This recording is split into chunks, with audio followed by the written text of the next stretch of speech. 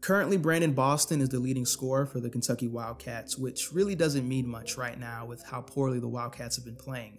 Boston was once considered a surefire lottery pick, and there were even some discussions during the preseason of Boston potentially being a top three draft pick. But now that we're more than 10 games into the season, Boston may not even be worthy of a top 20 selection in this year's NBA draft. The handful of good moments this year have been overshadowed by poor shooting efficiency, shot selection, and decision making. Now, it's not too late for Boston to turn things around.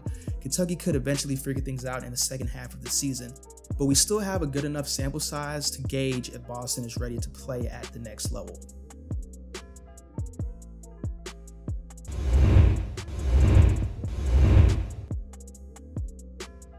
Let's start with the positive.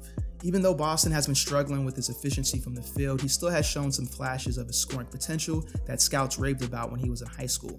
On the perimeter, Boston could develop into a really solid catch and shoot threat if he's able to find some consistency. He has a very quick release off the catch, and in these situations, Boston is usually unbalanced and he consistently gets good elevation on his jump shot. Also, like that, Boston is still very confident shooting the ball off the dribble despite his shooting woes. When he's taking his time and when he's under control, Boston shows a lot of promise as a shot creator. His handle is quick enough to create separation off the dribble, and he's capable of stopping on a dime and rising up quickly into mid range pull ups. These are moves that made Boston such a coveted prospect coming out of high school, so hopefully he can start making more of these types of shots on a consistent basis.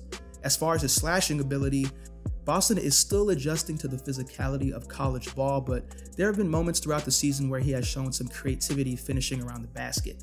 Boston will not wow you with elite athleticism, but he's a fluid athlete with a soft touch around the rim. Even though he's struggling at the moment shooting from the field, you could tell that Boston's confidence hasn't wavered, which gives me some optimism that he would turn things around. One thing that I do like from Boston that I'm seeing is his upside as a defender on and off the ball. He showed a lot of promise as a defender in high school, and despite some occasional defensive hiccups this season, it's good to see that he's producing on the defensive end at the college level.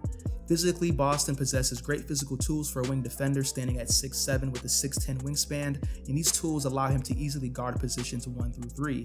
He has impressive lateral quickness and active hands when guarding the ball. I also like his timing and anticipation when contesting shots. His length can make it really difficult for players to get their shots off. Boston is also very active in the passing lanes, doing a good job picking off lazy passes. More than anything, I like that Boston is not afraid to compete on the defensive end, always ready to take on the challenge of shutting down a player.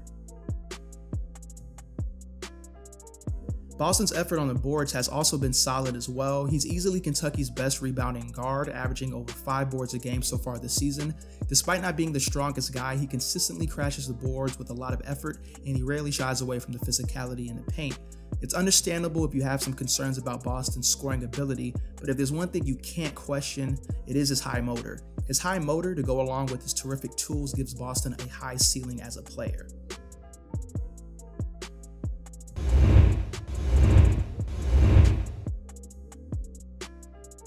So it's safe to say that Brandon is having a tough time scoring effectively so far this season. It's not uncommon for freshman guards to have some ups and downs scoring the ball, but the issue with Boston is that he hasn't shot above 40% from the field since Kentucky's first game of the season. As of now, Boston is shooting 36% from the field while shooting a dreadful 17% from three point range. Now, I would be lying if I said Boston's shooting inconsistencies is surprising. He did struggle with consistency as a high school prospect, but I did not expect for Boston to be struggling this much scoring the ball, and it's really starting to take a toll on his draft stock. Part of it is Boston just missing some pretty good looks at the rim, but another part of it is his questionable shot selection throughout the course of a game. Whether it's shooting quick shots early in the possession or forcing up shots under high degrees of difficulty, Boston still hasn't quite figured out the college game when it comes to picking his spots on the floor to score the ball. Another concern I had with Brandon going into college was how well he would handle the physicality of college ball, and it's clear that his lack of strength is affecting his efficiency. When he's attacking off the dribble, Brandon gets easily bumped off course, and he ends up forcing some out of control shots at the rim. Since Boston lacks explosiveness off the bounce, he has a tough time getting that first step by more athletic perimeter defenders. Also, the length and athleticism of the big men in the paint has been causing Boston to struggle finishing around the basket consistently.